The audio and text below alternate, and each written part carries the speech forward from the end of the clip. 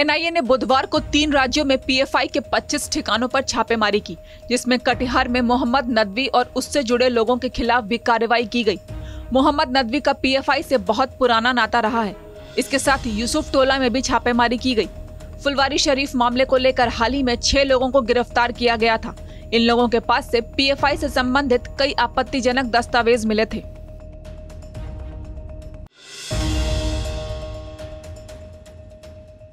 बिहार के सरकारी स्कूलों में एक लाख सत्तर हज़ार चार सौ इकसठ पदों पर शिक्षकों की बहाली होनी है। इस मामले में अब नोटिफिकेशन भी जारी हो गया है। शिक्षक भर्ती के लिए 15 जून से 12 जुलाई तक आवेदन भरने की तारीख रखी गई है। बिहार के डिप्टी सीएम तेजस्वी यादव ने इसकी जानकारी ट्वीट करके दी।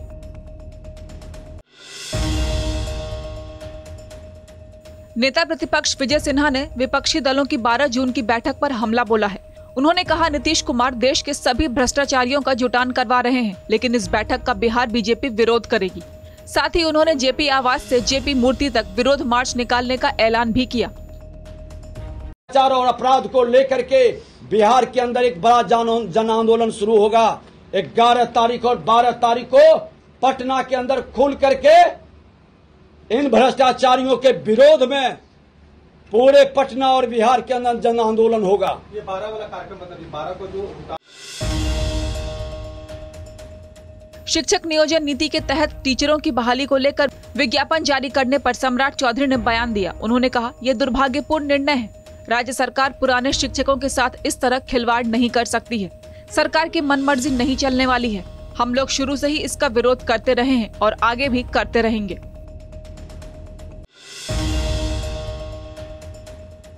आरएलजेडी अध्यक्ष उपेंद्र कुशवाहा ने 12 जून को पटना में होने वाली विपक्षी नेताओं की बैठक पर कहा, इस बैठक से कुछ हल नहीं निकलने वाला है। जितनी पार्टी है, उतने लोग पीएम के उम्मीदवार हैं। साथ ही उन्होंने कहा, नीतीश को भी पता है, कुछ होने वाला नहीं है, लेकिन वो कोशिश में लगे हैं। मीटिंग कर रहे हैं, यह बात ठीक है, लेकिन मीटिंग का कोई फलाफल नहीं निकलने वाला है। क्योंकि इन लोगों के पास जितनी पार्टी है, उतना, उतने लोग उम्मीदवार हैं प्रधानमंत्री के। और अलग अलग राज्यों की जो राजनीतिक स्थिति है, उसमें एक उम्मीदवार के खिलाफ एक उम्मीदवार, इसकी स्थिति बनाना बिल्कुल असंभव है। वैसी परिस्थिति में कुछ भी नहीं होने वाला है।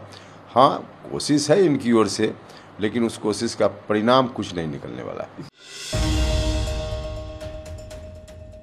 12 जून को विपक्षी दलों की बैठक पटना में होने वाली है। तो वहीं बीजेपी सरकार ने 9 साल पूरे होने के मौके पर राज्य भर में कार्यक्रम आयोजित करने का फैसला लिया है, जिसमें प्रधानमंत्री नरेंद्र मोदी की जून में एक बड़ी जनसभा हो सकती है। इसके लिए प्रधानमंत्री नरेंद्र मोदी को न्योता भेज दिया गया है और देश के कई बड़े नेता भी शामिल हो सकते हैं। अभी तक रैली की तारीख और जगह तय नहीं की गई है। पूर्णिया में शराब की तस्करी का एक नया मामला सामने आया, जहाँ दूध के साथ दारू सप्लाई की जा रही थी।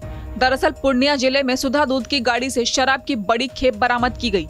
बिहार पुलिस ने पूर्णिया के कस्बा में सुधा दूध की गाड़ी से ग्यारह लीटर विदेशी शराब बरामद किया।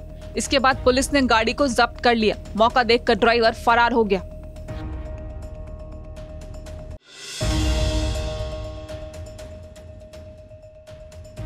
रांची में मौजूद यश मॉडलिंग कंपनी पर लव जिहाद का आरोप लगा है।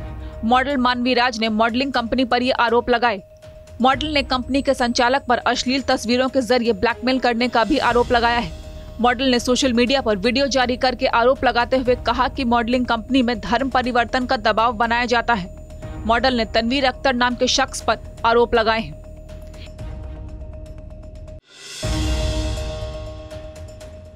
एक दिवसीय दौरे पर दिल्ली के मुख्यमंत्री अरविंद केजरीवाल एक जून को रांची आएँगे।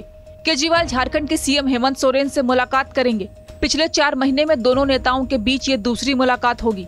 इससे पहले बीते सात फरवरी को केजरीवाल और हेमंत सोरेन के बीच दिल्ली में मुलाकात हुई थी।